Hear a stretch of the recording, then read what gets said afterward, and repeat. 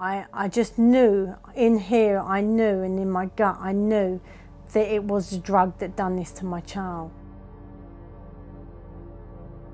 And we are allowing a multi-billion pound company to walk away with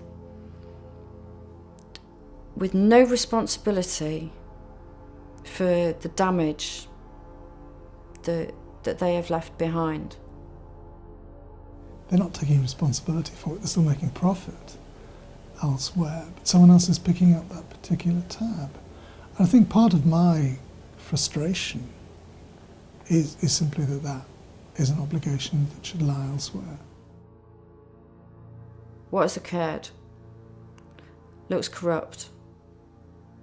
And the fact that the current system is not economically viable makes government look corrupt.